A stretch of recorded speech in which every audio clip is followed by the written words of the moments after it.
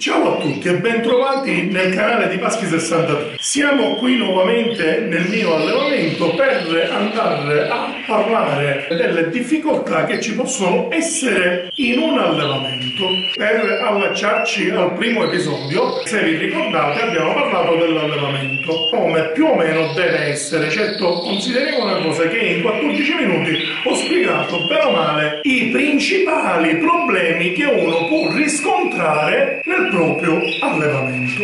Detto ciò, oggi noi cosa andremo a fare? Andremo a parlare della pulizia. Io mi sono distribuito praticamente quello che devo fare durante tutta la settimana. Cioè a dire, io per prima cosa quando entro in allevamento la mattina, prima cosa dobbiamo dare a mangiare ai nostri animali e la seconda cosa devono bere. Io mi sono giostrato durante la settimana che mi sono scritto quando devo fare delle determinate cose così ho uno schema di lavoro. Io praticamente il lunedì vado a togliere tutte le griglie e i posatoi dalle gabbie per pulirli. Ora vi voglio spiegare una cosa molto importante. Intanto io le griglie li lavo ogni settimana, ogni lunedì. E inizio a togliere le, le griglie sporche e mettere quelle pulite, perché questo è un lavoro che si deve fare ogni settimana, in quanto il camerino nel momento in cui sporca quelle griglie e magari vede le feci,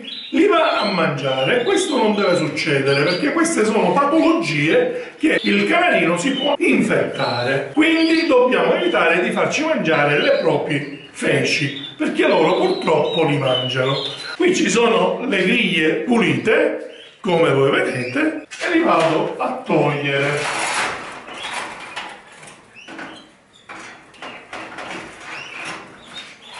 Vi mostro le griglie, quelle da me, come sono sporche. Io penso che si nota leggermente che siano sporche. Io le griglie li tolgo per due motivi fondamentali ogni settimana. La prima è quella di non far ridurre la griglia troppo sporca perché poi mi viene male a pulirla. Quindi nel momento in cui io la lascio così dentro la vasca, perché ora vi faccio vedere dove la vado a mettere, io a 5 minuti praticamente ce l'ho di nuovo pulita. La seconda invece è il fatto che loro stanno nella pulizia e non mangiano la cacca proprio che fanno direttamente loro.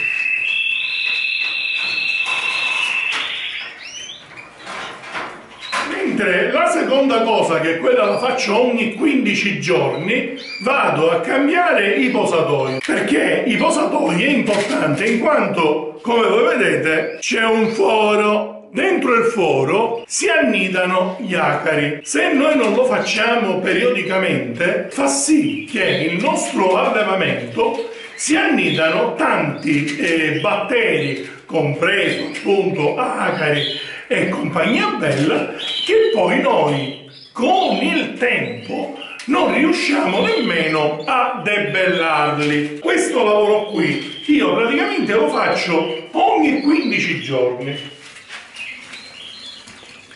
Riempiamo la vasca e andiamo a mettere le nostre griglie all'interno. Io nell'acqua ho messo candeggina questa candeggina la lascio almeno per circa un'ora e mezza, due ore, quindi uso io l'acqua calda per andare a pulire le griglie e i nostri posatoi. Poi vi, vi voglio far vedere un po' come sono ridotti i posatoi. Io penso che si nota scusate la luce perché qui praticamente siamo fuori quindi chiudiamo e aspettiamo quelle poche ore per iniziare a pulire il tutto andiamo a pulire le griglie perché praticamente a questo punto già saranno pulitissime. Ora io vi faccio notare pure all'interno del, della vasca le griglie che ci sono. Questo io ve lo faccio vedere per farvi notare tutto il lavoro che bisogna fare. E non dobbiamo dimenticarci di questo lavoro perché poi quando voi mi scrivete sotto nei commenti Pasquale Ogliacari, Pasquale i miei canarini nelle zampe hanno le squame, Pasquale come mai? Eh, sono sporchi, Pasquale perché principalmente questa cosa è una cosa che dobbiamo curare molto frequentemente perché così facciamo sì che gli acari non annidano, non si annidano. Questo è il mio consiglio che vi do. Io poi li pulisco con una scopa, come vedete. Considerate che ho cambiato l'acqua, come vedete sono ritornate di nuovo integre e pulite.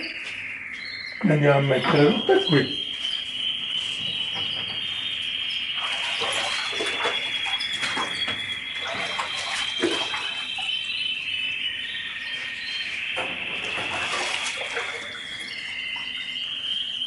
Proprio perché già li levo puliti, basta una passata che la griglia ritorna come nuova eh? e vado a ridurre anche il tempo della pulizia che devo fare io. Eh? Andiamo a sostituire pure le griglie eh, di queste gabbie, che poi queste di qua sono le voliere da 120. Leviamo questo bagnetto. Prendiamo il tutto e lo andiamo a lavare perché anche queste cose qui si devono sciacquare e lavare. In pratica noi cosa stiamo andando a fare? Noi stiamo facendo prevenzione, prevenzione per non farci sorprendere dagli acari, dalla sporcizia, da problemi che può avere in seguito l'animale facendolo vivere in un locale sporco e così via. Vado a levare anche la carta, così vi rendete conto come io levo la carta del mio allevamento. Volevo suggerirvi anche un altro piccolo vantaggio. Io nell'allevamento ho montato tutte le gabbie il sistema carta. Periodicamente, che quel periodicamente per me è ogni 10 giorni, io vado a togliere tutta la carta di tutto l'allevamento. Che ora vi faccio vedere come faccio. In pratica tiro e la avvolgo.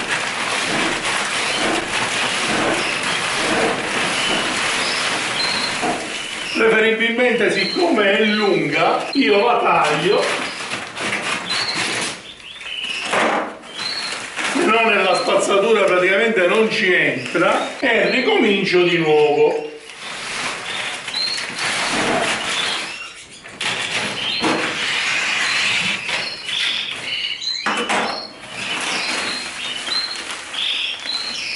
Ora questa carta io la vado a togliere intanto per eh, maggior pulizia. E poi vi voglio dire anche un'altra cosa, non so se vi siete accorti nel vostro allevamento che più va avanti la stagione calda, più si vanno vedendo quelle farfalline. Ora, quelle farfalline che poi alla fine ci insegnano è proprio questo, quando noi lasciamo troppo la scagliola a marcire sotto il fondo della carta. Di conseguenza tra umidità e la sporcizia, perché poi li fa la scagliola queste farfalline, ci impestiamo di queste farfalline. Non è che dico che uno deve toglierli tutte al 100%, però noi sicuramente andiamo a togliere almeno per una buona percentuale formarsi queste farfalline periodicamente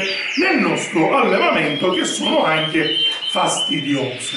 Vi consiglio di fare questo lavoro ogni 10 giorni. Poi c'è da dire anche una cosa molto importante, più volte lo fai, prima devi andare dal commerciante a comprare la carta e tutto quello che noi andiamo a realizzare in allevamento sicuramente ha un costo.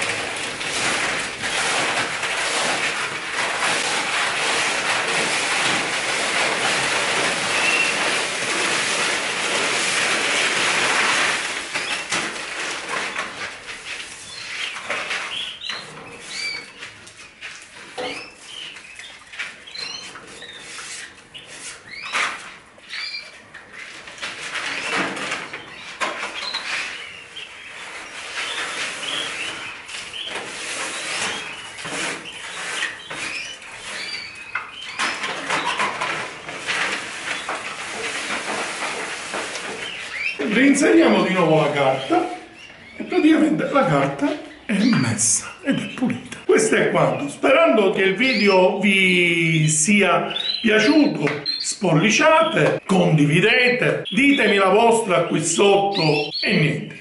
Ciao ciao, a un prossimo video.